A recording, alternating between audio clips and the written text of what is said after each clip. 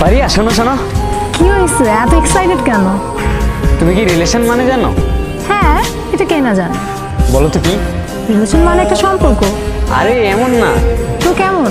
আরে একটা ছেলে একটা মেয়েকে আই লাভ ইউ বললে তারপর রিপ্লাই মেয়েটাও যদি আই লাভ ইউ টু বলে তাহলে অটোমেটিক রিলেশন যায় কিন্তু মেয়েটা আগে বললে কিন্তু তোমার এই আজগুবি নিয়ম কে বানাইছে?